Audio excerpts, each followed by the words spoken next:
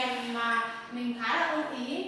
À, với một à, với toàn bộ là ba tầng năm tầng đều là một, một cái loại dẹp duy nhất đó là dẹp màu hồng Hàn Quốc. À, và, cái căn nhà này thì hai mặt tiền thì thế mà à, khá là nhiều của và sau khi lên thì rất là đẹp. Bây giờ thì cũng khá là muộn rồi bây giờ là bảy giờ năm cũng tối rồi. Nhưng mà vì là sáng mai khách hàng à, sẽ chuyển về ở sớm nên là anh em mình và các anh trong đội cũng sẽ cố gắng làm cho hoàn thành để cho chủ nhà có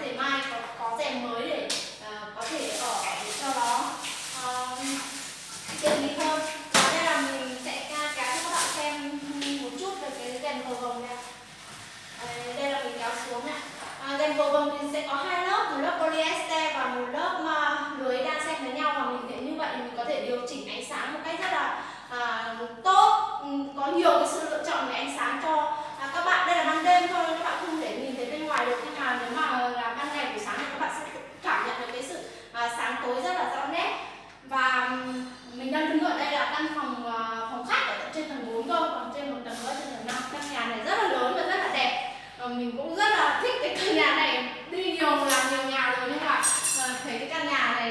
là đẹp nhất là mà mình từng